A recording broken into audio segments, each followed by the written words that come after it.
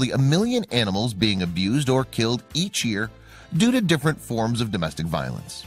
Animal rights groups like Animal Advocates is just one of the many nonprofit organizations that are working to fight against animal cruelty. Abused dogs can be saved and people need to know that. Diesel is one of the dogs that had to suffer cruelty for years. This is his story. Diesel is a dog from Yukon. He spent four years of his life chained up even during the harsh northern winter temperatures that could reach negative 40 degrees below zero.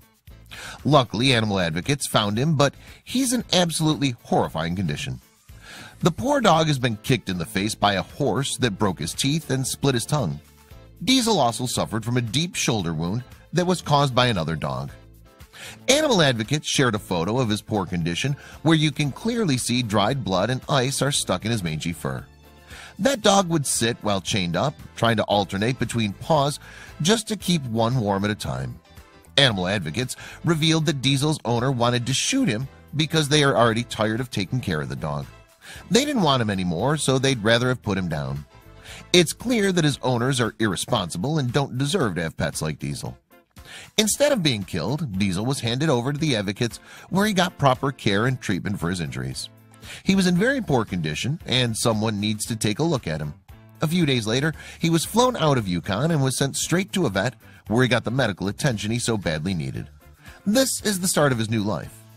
The vets neutered Diesel. They also removed a tumor from him.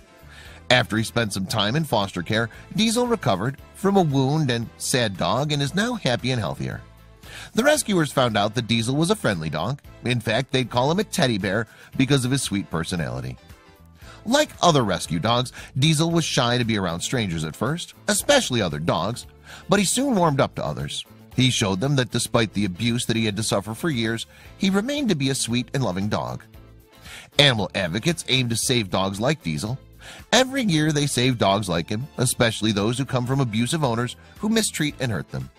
They're truly amazing people who give these dogs another chance in life. Diesel is a living example that even abused dogs can have a happy and normal life that they deserve. One rescued dog means one animal saved from abuse and cruelty. Like Diesel, everyone's hoping that his story would also inspire others to do the same. People are thankful that organizations like Animal Advocates do everything they can to save dogs without asking anything in return.